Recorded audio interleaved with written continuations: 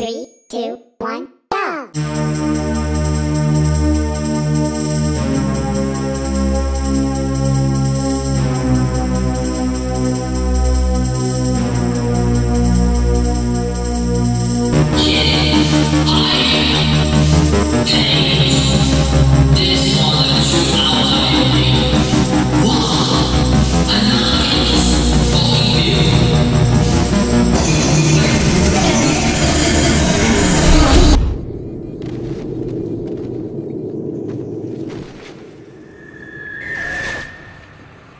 So trusted you.